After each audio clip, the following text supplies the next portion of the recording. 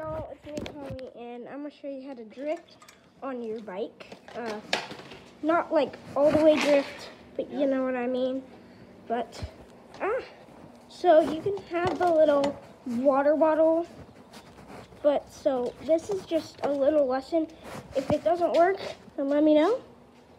Okay. Uh, so, well, okay. So first,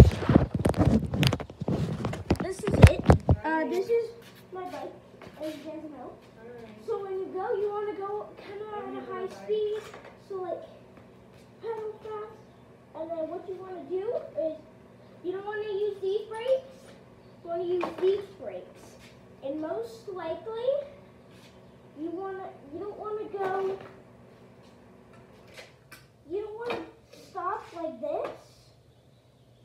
You usually want to stop like like this. So I will show an example. There's my mom. I will show an example. Let me just write out here with my iPad in my. People are gonna be like, "What the frick is? He? What the heck is he doing?" Okay, I'll show you.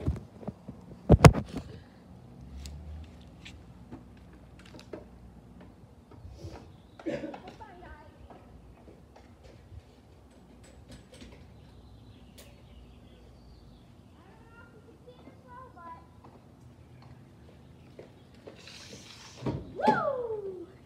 Yeah, so I'm gonna do that. I try to copy what I just did.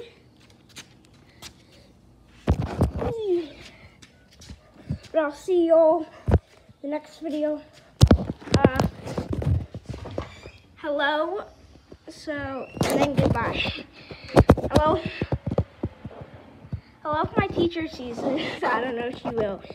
If she does, if the comments aren't turned off, she could say hi. But yeah, I'll see you in the next video, guys. Peace.